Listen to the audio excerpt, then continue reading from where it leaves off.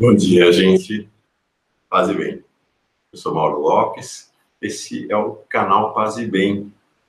Aqui também é a TV 247. E neles você assiste o programa Paz e Bem. Hoje é segunda-feira, dia 18 de março, e esse é o Paz e Bem de número 124. Uma alegria a gente estar juntos. Mais uma semana começando. Vai ser uma semana muito intensa no canal Paz e Bem além da nossa programação é, normal, cotidiana, rotineira, então toda, todos os dias é, o programa Paz e Bem, às seis, da, às seis da manhã, estreia às seis da manhã no canal Paz e Bem, às sete horas na TV 247, terça e quinta o Caminhos do Espiritismo, e aí o que, que nós temos mais esta semana? Já está marcado, se aparecer alguma coisa nova, aviso hoje, segunda-feira, no canal Paz e Bem, com retransmissão na terça, na TV 247, uh, o segundo encontro do curso Retalhos da Nossa História, com o professor Pedro Lima Vasconcelos. Curso muito esperado, muito aguardado, é, demandado pelo presidente Lula, e que a gente faz com grande alegria e carinho por ele e por todo o povo brasileiro. O tema de hoje será as santidades indígenas. Nós vamos começar lá no início da história é, da dominação do Brasil pelos portugueses. Né? Não é o descobrimento, né? A invasão e a história do Brasil é muito mais antiga do que aquilo que se convencionou chamar de história do Brasil a partir de 1500. Então, no início da dominação portuguesa, as santidades indígenas. Retalhos da nossa história com Pedro Lima Vasconcelos, segunda-feira.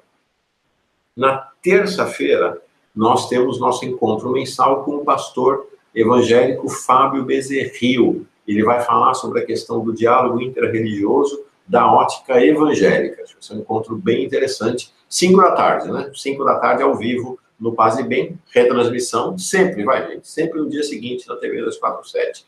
Na terça-feira, num horário inusitado, às 10h15 da noite, estreia um curso do pessoal do uh, do CEJUS, do Coletivo de Estudos, é, Coletivos de Estudos Espiritismo e Justiça Social, perdão.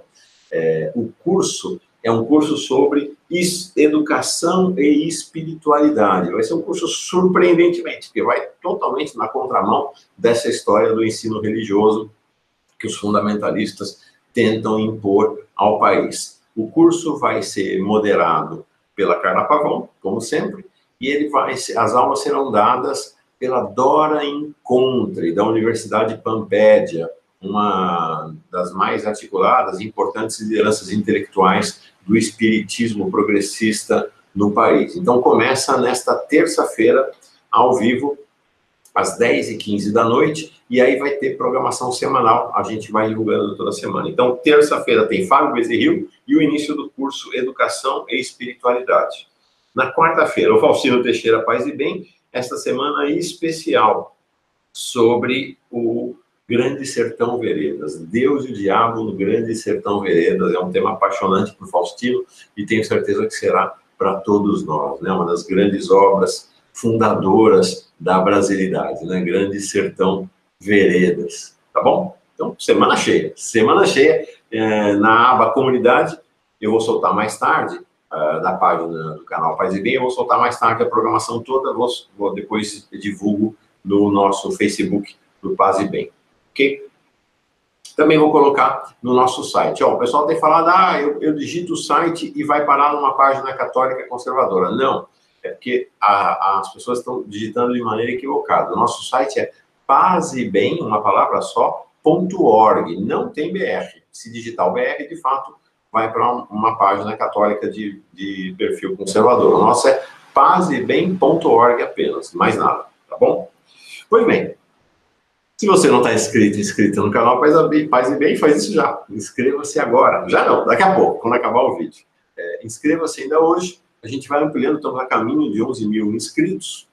Vamos fazer nossa jornada de ampliando esta, esse projeto, essa proposta, esse convite para uma espiritualidade plural e de paz para o país. Se você tiver condições, faça uma assinatura solidária do canal Paz e Bem. Tem o link na descrição desse vídeo e no nosso site, no pazebem.org, pazebem.org, também logo na home, lá no pé, embaixo na home, ou em, se você clica em qualquer artigo, já vai aparecer destacado o, o caminho, o link para fazer a assinatura. Tá bom? Vamos lá. Então, segunda-feira, dia 18 de março. Nosso tema é humilhar os de baixo, a praxe das elites. Esse tema me veio porque esse fim de semana eu trabalhei o fim de semana todo no plantão do Brasil 247, né? tanto do portal quanto da TV. E fiquei muito, muito impactado, muito impressionado com mais essa declaração do clã Bolsonaro, no caso do deputado federal Eduardo Bolsonaro, que está lá nos Estados Unidos com o pai para entregar o Brasil de bandeja para o Donald Trump.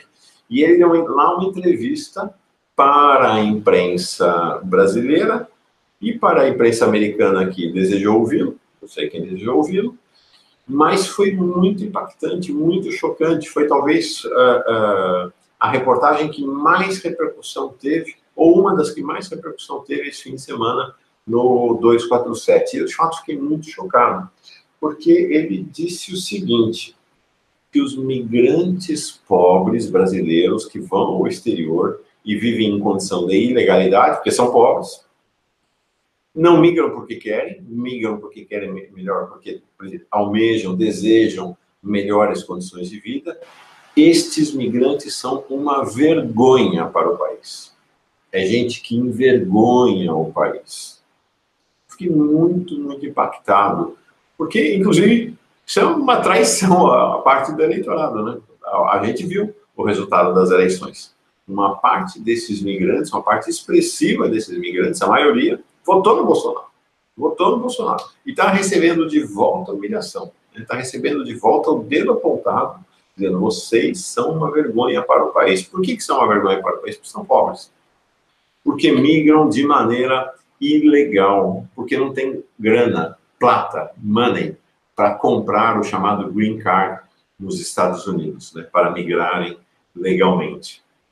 Então, migram como podem, e a migração do, da, daquele que migra como pode, a gente vê os mexicanos, né, o, o pessoal da Centro-América fazendo isso, da América Central fazendo isso também, migram de maneira ilegal e vão se virando e vão construindo a sua vida e ao longo do tempo e aqueles que ao longo do tempo conseguem, tornam-se imigrantes legais, tem pessoas que perduram nessa condição de ilegalidade ano após ano, é, fazendo é, cumprindo funções subalternas, né, faxineiros, faxineiras, limpando é, o cocô dos americanos, né, limpando o xixi das americanas, né, gente, assim, esse é o, é o cenário que vivem esses brasileiros e brasileiras pobres, e gente de outros povos também, que migram de maneira ilegal para os Estados Unidos. Pois para o bolsonarismo, para o Eduardo Bolsonaro, essa gente é uma vergonha para o país. É uma vergonha para o país. É incrível, porque o, eles são ricos, né? Os Bolsonaro, o clã Bolsonaro enriqueceu, a gente sabe como, né? O clã Bolsonaro enriqueceu é, com vários, vários golpes, mas a gente já conhece uma parte desses, né? Que é tomar dinheiro tomar dinheiro daqueles que trabalham para eles, né, os assessores, então, que é o chamado esquema Queiroz, né, que é tomar dinheiro, tomar boa parte do salário daqueles que trabalham para o clã Bolsonaro como funcionários e assessores nos seus gabinetes, porque todos eles é, estão pendurados nos, é, nos, cofres, nos cofres públicos a partir de seus mandatos eletivos, entre parênteses, mandatos eletivos que é o caso do Eduardo Bolsonaro, ele é de São Paulo, mas os três demais, o Carlos, o Jair, né, que é o pai, e o Flávio, todos eleitos pelo Rio de Janeiro, com base no local onde eles têm, uh, uh, com base eleitoral em Rio das Pedras, onde quem cuida da base eleitoral deles é a milícia chamada Escritório do Crime, né, com quem eles têm relação de intimidade, inclusive pessoas vinculadas ao Escritório do Crime, é, trabalhavam no, uh, no gabinete do Flávio Bolsonaro e faziam parte desse esquema, né, de, de, e, e, e montando a caixinha para sustentar o clã. Então, o clã Bolsonaro hoje é feito de homens brancos, homofóbicos, misóginos, ricos. E não basta aos ricos brasileiros ser ricos. Esse, esse nirvana de ser rico não basta. Né? Esse nirvana que eles imaginam, que ser rico, poder viajar na primeira classe, poder ter o que quiser, poder ostentar, não basta. É preciso humilhar os de baixo. Este é o auge do prazer. O auge do prazer consiste na humilhação dos de baixo. Então, o que o Eduardo Bolsonaro faz, né, o que os fascistas no país fazem, é vocalizar de maneira explícita, aberto aquilo que é da tradição das elites brasileiras escravocratas. É incrível, porque os ricos oferem prazer na humilhação dos pobres. O Eduardo Bolsonaro falou isso com a boca cheia, com evidente prazer. Vocês são uma vergonha. E assim, é assim que a gente assiste. Eu presenciei uma cena, e vou, vou relatar essa cena é, dando nome aos bois, que foi uma cena pública, da época em que é, eu era empresário e tinha uma agência de comunicação. Então, também quero fazer um parênteses. Estou aqui falando, o pessoal acha, ah, Mauro, que ótimo, que bonitinho, que espiritual, que elevado. Gente, eu sei bem da minha trajetória, eu sei bem dos crimes que eu cometi contra os mais pobres ao longo da minha vida. Eu sei bem o quanto eu servi aos ricos do país, né, na época em que eu era empresário. Eu sei quanto eu silenciei e conciliei com esse processo de humilhação dos pobres. Então, é bom manter a bola baixa, assim, né? é bom manter a bola baixa. Então, nessa condição, então, como presidor e presidente dessa, daquela que foi minha agência de comunicação, eu estava numa solenidade na Fiesp, Federação das Indústrias do Estado de São Paulo, com industriais também, claro, banqueiros né, ou executivos dos bancos, estão em todo lugar, eles que mandam, e lá numa roda em que está quem? Benjamin Steinbrück. Benjamin Steinbrück, família Steinbrück é uma família multimilionária uh, há muitos e muitos anos, há gerações no Brasil, uh, e eles são os donos da Companhia Siderúrgica Nacional. Depois que foi privatizada a CSN, eles tomaram para eles. E ele é, então, o presidente do conselho da CSN. E ele estava lá numa roda, todo, então, todo orgulhoso, com uma tala no braço, né? Com uma tala aqui no braço. Todo orgulhoso, mostrando para as pessoas, tala no braço, e falando, sabem como é que eu tô, por que, que eu tô com essa tala no braço? Eu tive uma reunião com a diretoria da CSN e o resultado do último trimestre foi abaixo do que eu esperava. Eu não tive dúvida. Eu berrei, eu gritei com aqueles idiotas e eu bati a mão na mesa trincou meu osso. Trincou meu osso. Mas mostrei para eles quem manda e como é que se faz. Foi chocante, né? Mesmo na condição que eu estava, fiquei muito chocado com aquilo, né? Naquela condição de presidente, de estar tá conciliando. Né? Ah, tudo bem, tinha lá minhas características, não interessa. Mas vivenciando esse ambiente, fiquei chocado. As pessoas ao redor se admiraram, louvaram. Eu não sei em que medida elas de fato louvaram da boca para fora ou de fato né, concordaram com aquele gesto.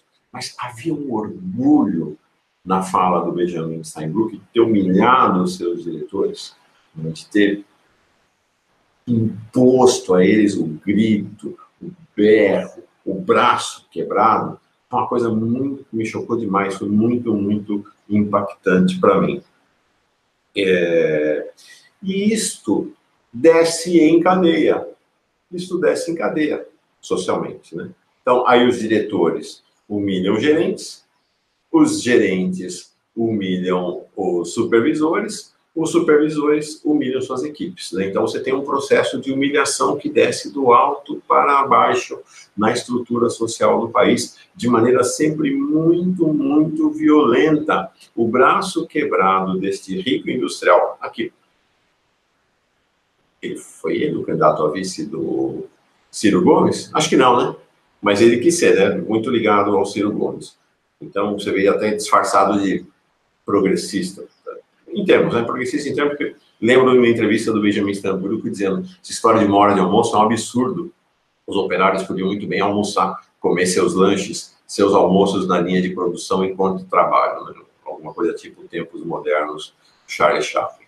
É, então, mas essa, esse processo de humilhação vai descendo a pirâmide, vai descendo né, até chegar à humilhação, máxima aos mais pobres. É usual isso no ambiente das elites do Brasil. Eu lembro de um outro encontro, aí não vou poder falar, que foi um encontro privado, não me sinto no direito de revelar, mas também com um empresário riquíssimo, um industrial riquíssimo, tido como extremamente progressista. Quantas vezes eu não vi cenas deste homem gritando, aos berros, humilhando os executivos da sua empresa. Todos quietos, claro, todos quietos. E estavam ali, também todos eles ganhando, recebendo milhões anualmente.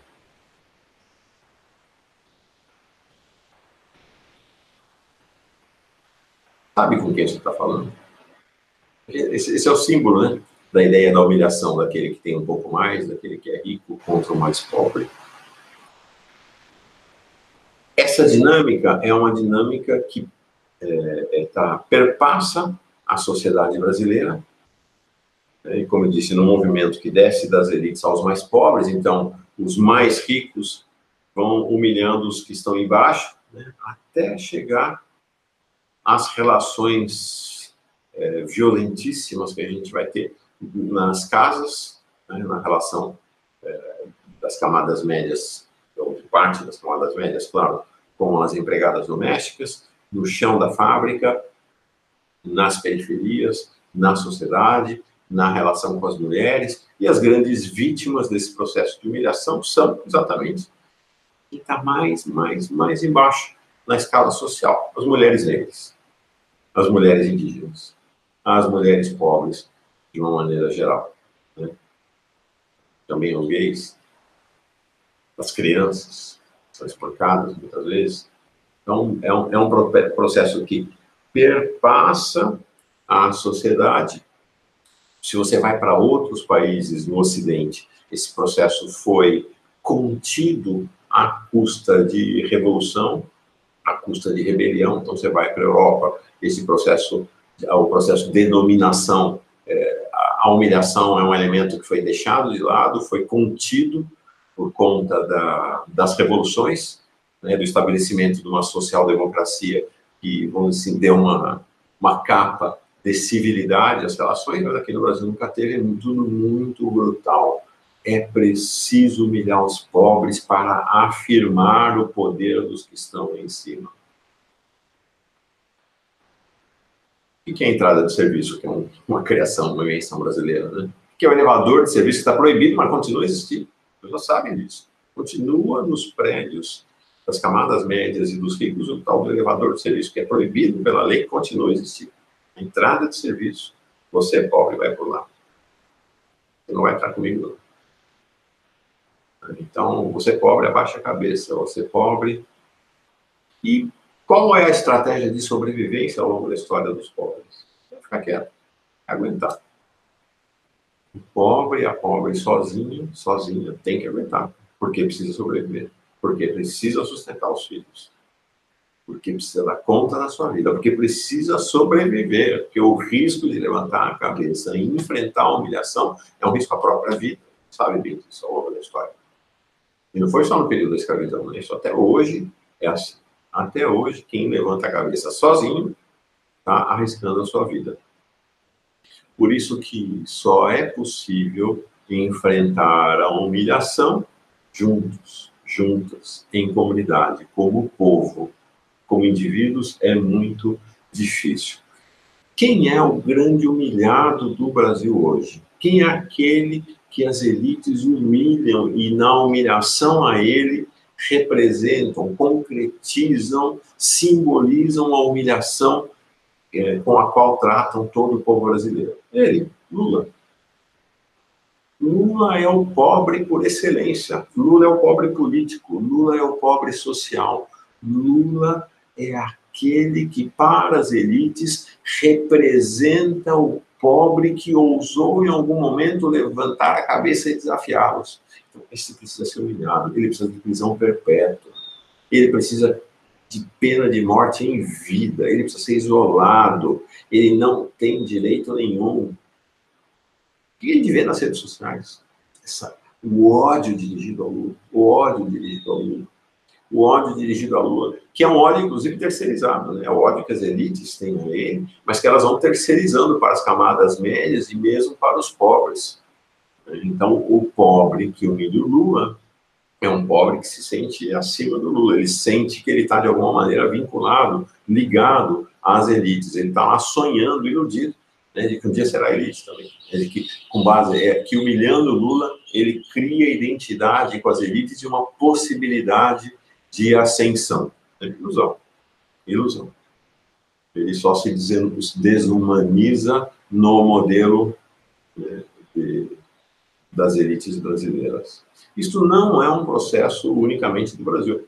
É um processo que acontece ao longo de toda a história. Né? Ao longo de toda a história, os ricos e poderosos humilharam os mais pobres. No Brasil, isso acontece de maneira dramática, violenta. E aí, trouxe né, nossa Bíblia, a Bíblia de Jerusalém, duas passagens de um do grande profeta Isaías. Eu menciono tanto Isaías aqui, né? Que Isaías é um livro para nos acompanhar ao longo da vida, qualquer que seja nosso caminho de espiritualidade. Aqui é o profeta, então, levantando-se, insurgindo contra os mais ricos, os poderosos que humilham os pobres. Que direito, é Isaías 3, versículo 15. Que direito tendes de esmagar o meu povo e moer a face dos pobres?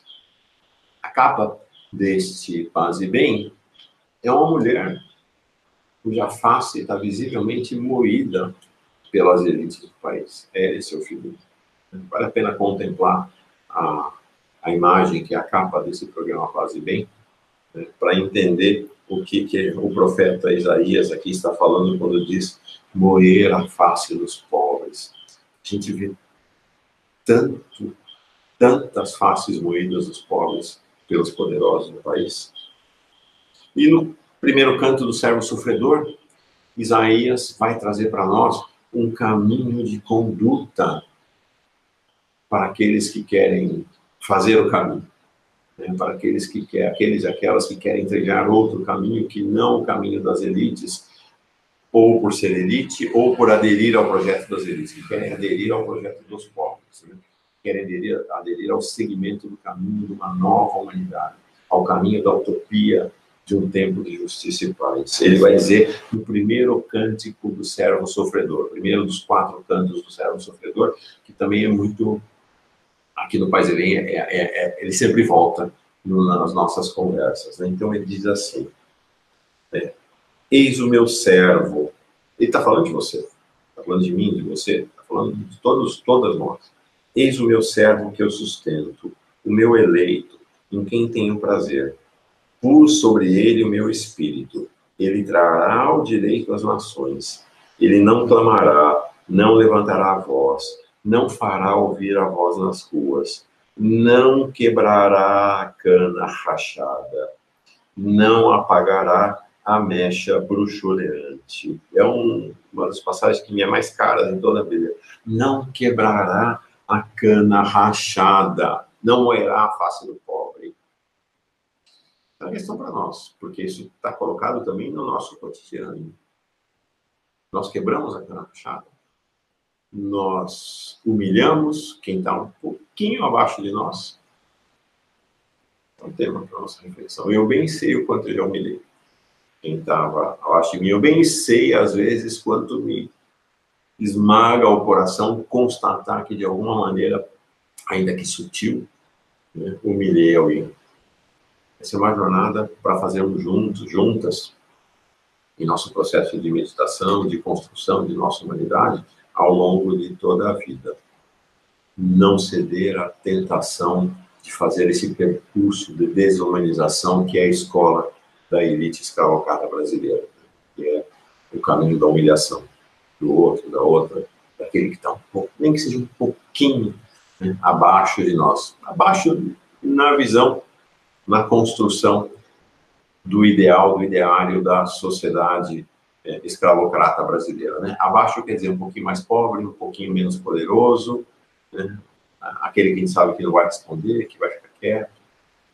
Acho que é bom também a gente fazer sempre esse autoexame, né? Humilhando alguém? Humilhei alguém hoje? Humilhei alguém ao longo da minha vida? Por que humilhei? Né? Como fiz isso? E a gente vai examinando cada um, cada uma de nós, nossos corações, para que trilhemos este caminho, para que não quebremos a cana rachada.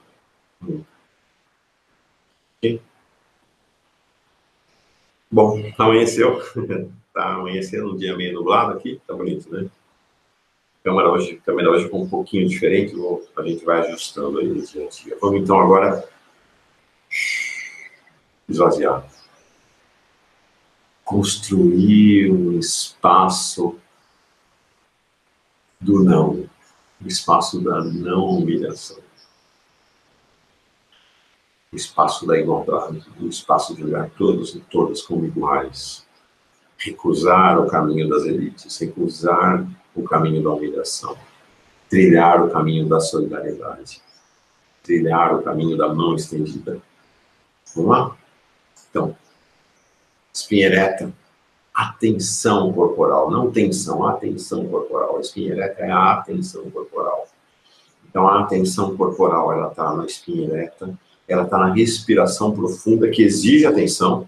Eu não sei se vocês repararam, a gente perde a atenção, a gente começa rapidamente a, a, a voltar para o padrão de respiração, que é a respiração curta, em geral a gente tem no cotidiano, e a atenção da mente. Né? O esvaziamento exige uma atenção grande, né? a repetição do mantra exige uma grande atenção e está lá no mantra, no mantra, no mantra, e de repente escapou, cadê o mantra? Então, atenção, tudo atenção. Atenção em todo corpo, mente, espírito, para a gente fazer nosso momento de meditação. Vamos fechar os olhos, fechei os meus e vamos começar. Então, nossa respiração, nosso mantra, nossa atenção.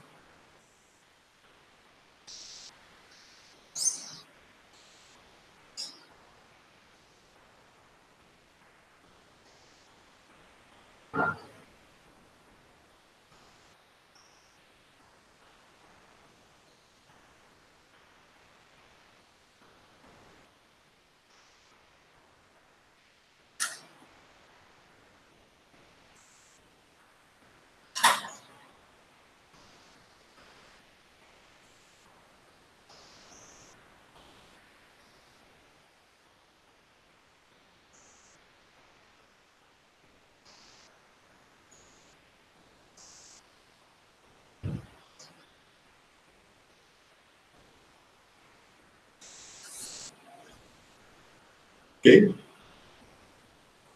Boa semana para todos nós, todas nós. Juntos, juntas. Paz e bem. Paz e bem.